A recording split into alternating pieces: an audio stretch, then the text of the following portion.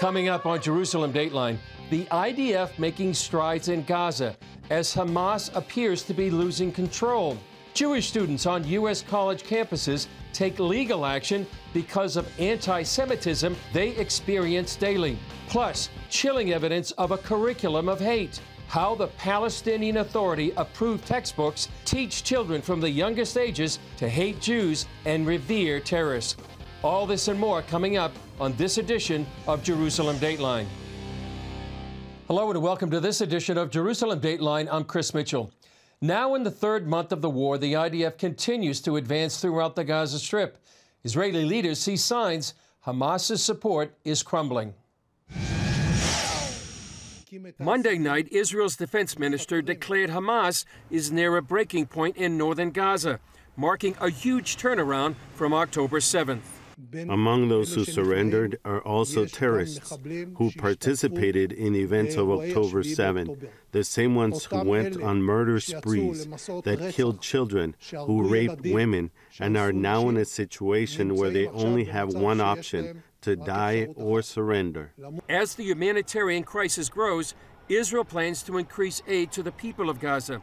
But this video shows some aid is being commandeered by armed groups. On Israel's northern border, the IDF is responding to an increase in Hezbollah fire into the country. It's a front the White House is concerned could escalate into a regional war. We absolutely don't want to see this conflict spill over into Lebanon. We don't want to see a second front. We don't want to see it escalate and widen. Um, and so it is also in the context of that uh, that we're, uh, we're concerned about these reports. In another risk of escalation, Iranian backed Houthi militia in Yemen struck a Norwegian oil tanker it says was headed for Israel. No injuries are reported. As the UN General Assembly prepares for a vote on a resolution calling for a ceasefire, Iran condemned the U.S. veto of a similar measure in the Security Council last week. The US government once again demonstrated its full fledged solidarity with the Zionist regime and its full complicity in these regrettable crimes against the oppressed people of Palestine. As the IDF continues to advance in northern and southern Gaza, a stark warning from Hamas about the hostages. A spokesman warned on Sunday that no hostage will leave the Gaza Strip alive without an exchange of more Palestinian prisoners in Israel as well as other demands. 138 hostages remain in captivity, including 20 women and two children. IDF troops continue to uncover evidence of Hamas hiding its war machine in civilian areas. This mosque included a Hamas training site, including a room used for combat simulation, weapons, and explosives. The IDF also said it found bags from the UN Relief and Works Agency mixed in with the Hamas weapons.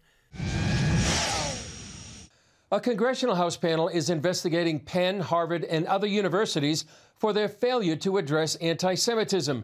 In some cases, Jewish students are suing their schools because they don't feel safe on campus. CBN's Brody Carter reports from New York. The Jewish population in New York City is roughly 10%. At Columbia University, they're in the top 15 of private universities by Jewish population. And Jewish students that we've talked to at CBN they tell us they simply don't feel safe here. One freshman even filing a lawsuit against the university for failing to protect her against anti Semitism. I choose to be hopeful that nobody would attack me physically.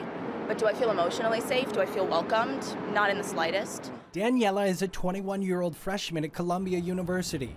Before her studies, she served in the Israeli Defense Forces as part of the Search and Rescue Brigade. After October 7th and subsequent war, anti Israel protests flooded the university.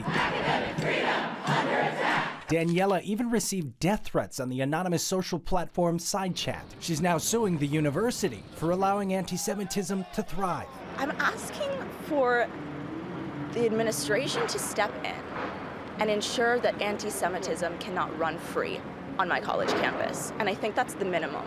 We're talking not just about verbal harassment, um, anti Jewish epithets being hurled at Jewish students as they walk to class, for example, but we're also talking about acts of physical violence. Mark Ressler, partner at Kasowitz Benson and Torres, is representing Daniela. He's also suing NYU on behalf of three other Jewish students, alleging civil rights violations for its anti Semitic educational environment. In an email, Columbia acknowledged the lawsuit and the Department of Education's investigation of seven colleges of reported incidents of anti Semitism. Posters of Israeli hostages have been spread throughout New York City streets. Many have been defaced, even torn down. Now, Jewish community leaders are calling it for what it is. This is terrorism. This terrorism. Rabbi Dov Yonah Korn leads a Jewish community of more than 1,300 students and young professionals at Chabad House Bowery near NYU. He says the spike of assaults, vandalism, and harassment against Jews have led to a 30% increase of young Jewish students leaning into their faith. Right, this is horrific. But thank God the Jewish people react well under fire. And this has caused such an explosion of Jewish life and Jewish community and Jewish optimism and Jewish faith and Jewish practice. Educational consultant Jennifer Brozo says the failure of certain universities to stand against anti Semitism is having a negative impact on early school choice. Unfortunately, it's a little bit too late. And a lot of students have just, they, these schools are off their list and they're going to other schools. Whether these investigations and lawsuits tarnish the Ivy League reputation is yet to be seen. Now, Jewish leaders encourage allies and partners with the Jewish community to stand against anti Semitism as the fight makes its way to our nation's capital. Reporting in New York City, Brody Carter, CBN News. Coming up, how officially sanctioned classroom education has created a generation of terrorists.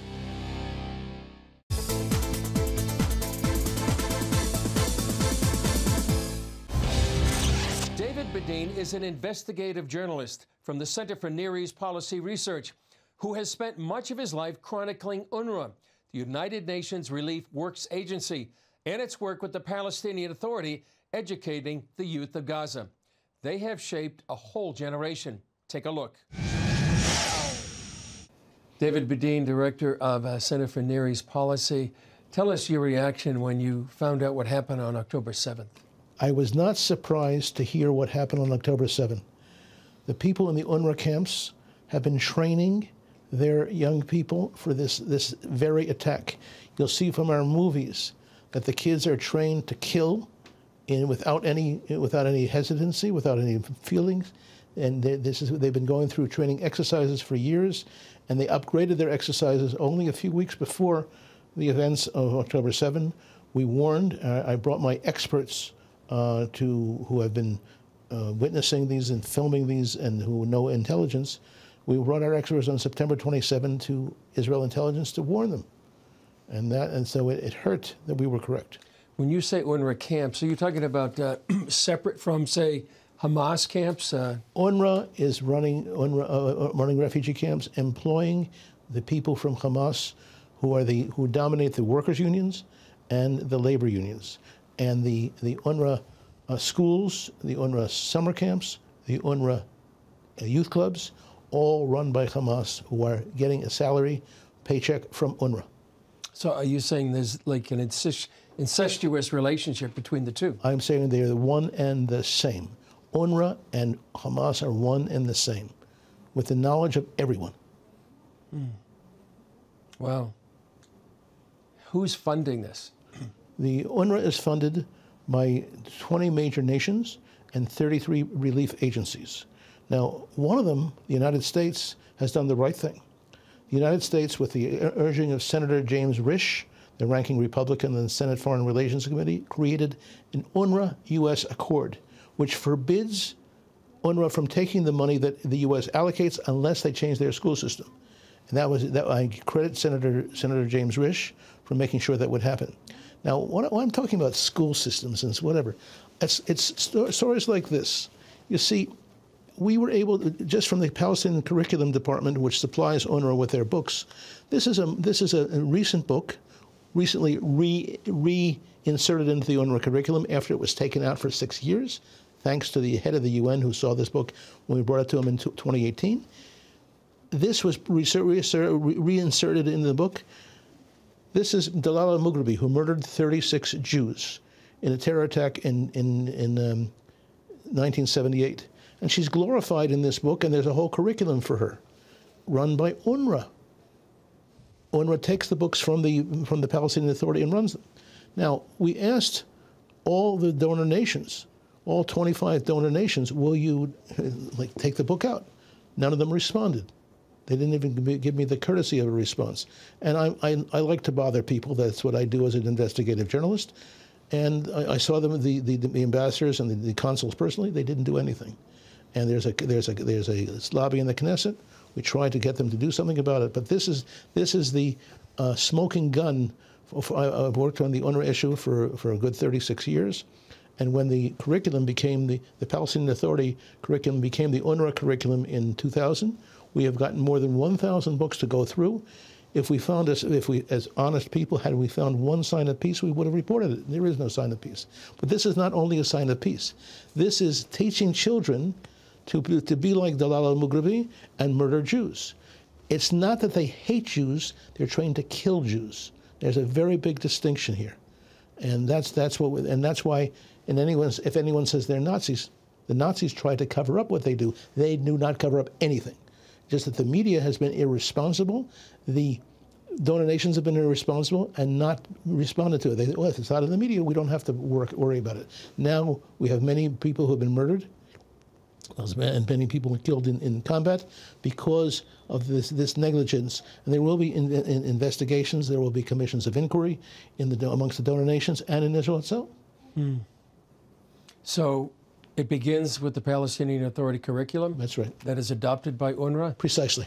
And that is taught in their schools, both in the West Bank and Gaza. That, and in Jerusalem. Mm-hmm. So the, the, the curriculum taught in Palestinian Authority and, and uh, it becomes the curriculum taught in, the, in, in UNRWA. We're talking about uh, UNRWA in Judea, Samaria, and Gaza and Jerusalem. Mm-hmm. And thousands of children being poisoned, being poisoned at their, their work. And I have here a report which is on our website, which is israelbehindthenews.com. Uh, report on which summarizes the three principles of Palestinian Authority UNRWA education. One, de- delegitimization of Israel's existence and the Israel's Jews' very presence in the country. Two, demonization of both Jews and Israelis. And three, the absence of any call for peace. Now, I'm naive. A refugee camp run by the United Nations is supposed to uh, uh, adhere to the values of the United Nations, not to the garbage of a, of a terrorist organization, but that's not what they do. I'm naive. When I was, when I was young, I, I grew up in America. Uh, my parents taught me to, brought me to meet Eleanor Roosevelt. I was 10 years old. I was so impressed. That was my first impression of the United Nations. But that's, we don't see any Eleanor Roosevelts amongst the, in, in UNRWA education.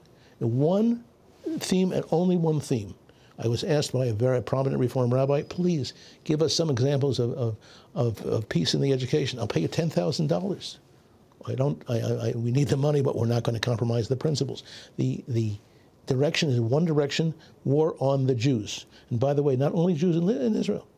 It's like, the, it's like their pay for slay law, that it, which has never been repealed, right? And It's that, that which, which allocates a salary for life mm-hmm. for anyone who murders a Jew and it's applica- applicable everywhere. Yeah. Well, David Bedein, thanks for joining us on CBN News. We'll follow this up uh, in another conversation. Okay, I'm going to give this as a copy to CBN and, and people who want to have copies of this book. We have extra copies. People want to see our, our site. We have the expression I'd like to use is "let my people know." Thank you. Thank you.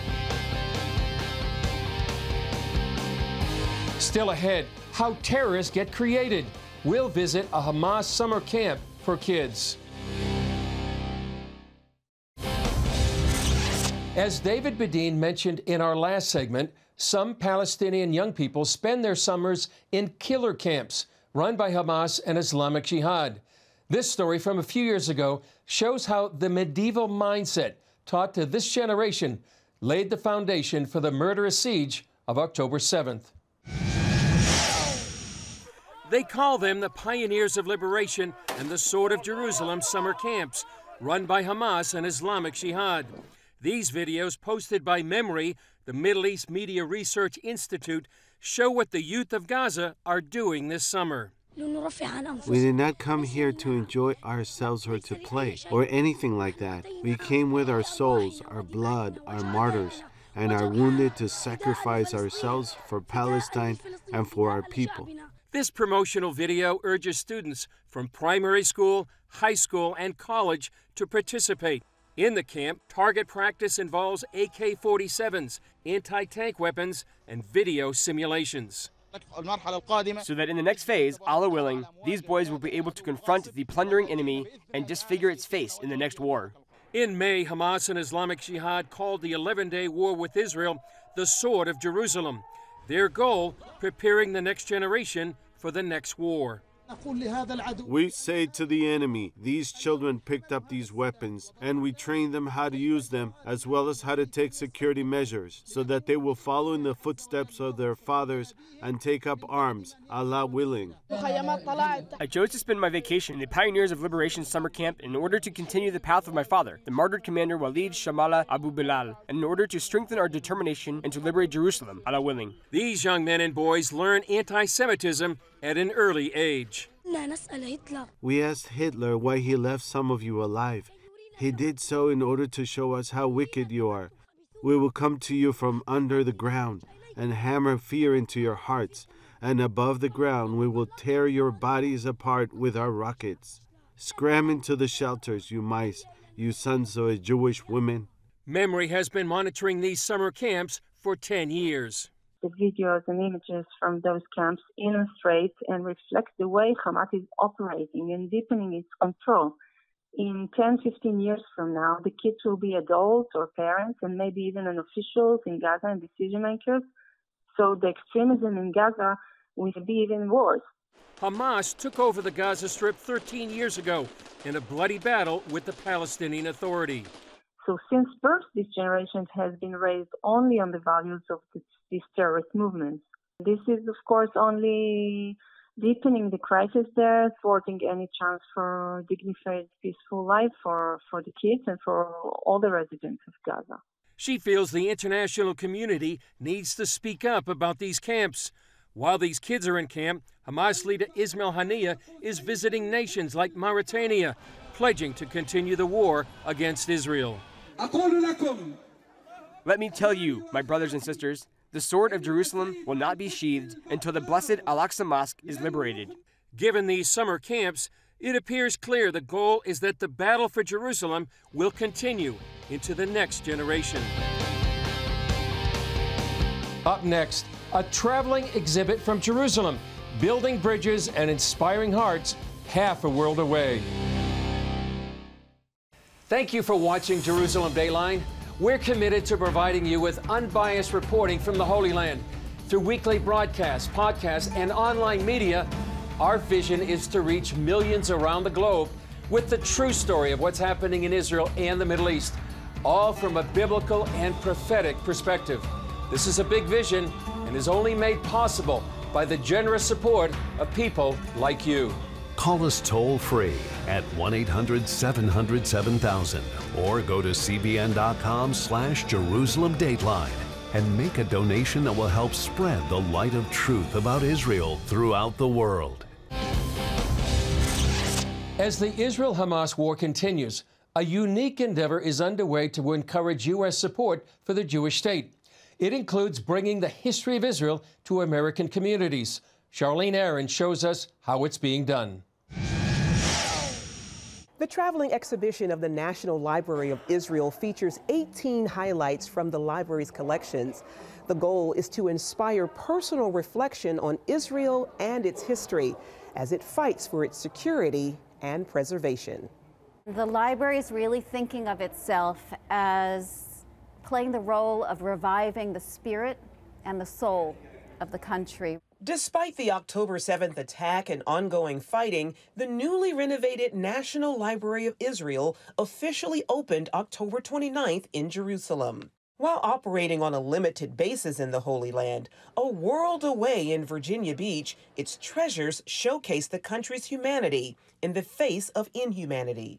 National Library of Israel USA CEO oh, Adina Canfield gave CBN News a tour of the gallery at the Reba and Sam Sandler family um, campus. Here, she points out a note from Hungarian Jewish poet Hannah Szenes, who was executed for helping Jews escape the Holocaust.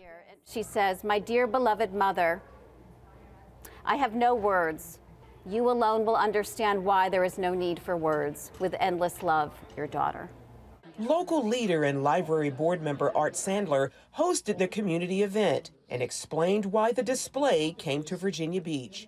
When I started learning about the library, I could, just couldn't believe what was there. I live here, so I wanted my I wanted my friends and family and my community to see it. Sandler hopes the exhibit can raise awareness and support for Israel in the face of growing anti Semitism. Apart from standing with Israel, there's this issue of Jew hatred that's just really come to the surface.